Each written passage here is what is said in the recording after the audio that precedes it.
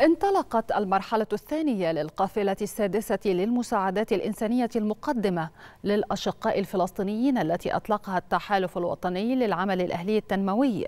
وتضمنت القافلة أكثر من 126 شاحنة محملة بأكثر من 2400 طن من المساعدات. وللمزيد يطلعنا عليها الزميل كريم بيبرس مراسل التلفزيون المصري إليك.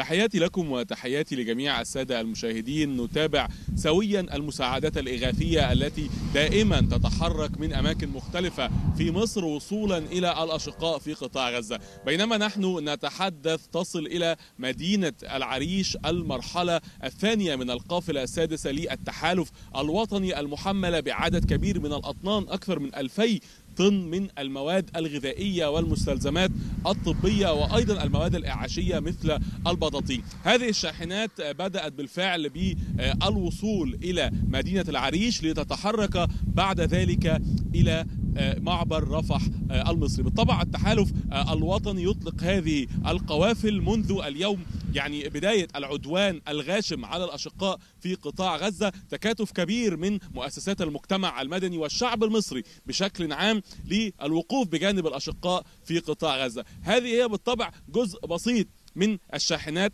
الذي وصل بالفعل إلى مدينة العريش ليتحرك بعد ذلك إلى بوابة معبر رفح المصري. القافلة الأولى التي جاءت من التحالف الوطني كانت محملة بأكثر من 4000 أطنان طن من المساعدات الإغاثية المختلفة والمتنوعة وقد وصلت بالفعل إلى معبر رفح. نتحدث بالطبع أيضا عن استمرار خروج المصابين من الأشقاء في قطاع غزة ليتلقوا العلاج في المستشفيات المصرية. بالطبع أيضا بالإضافة لكل ذلك المجهودات المختلفة مختلفة. معبر رفح لم يغلق أبوابه منذ اللحظة الأولى التي يعني بدأ فيها هذا العدوان الغاشم على الأشقاء في قطاع غزة وما زالت هذه المساعدات تدخل عبر معبر رفح ومعبر كرم أبو سالم إلى الناحية الأخرى. يذكر أيضا أن يعني المتحدث باسم المتحدث باسم الأمم المتحدة المتحدث باسمه تحدث عن يعني أن بوابة رفح المصرية هي من أهم البوابات وربما الأهم الذي يعتمد عليها الأمم المتحدة. وكل المؤسسات في إدخال هذه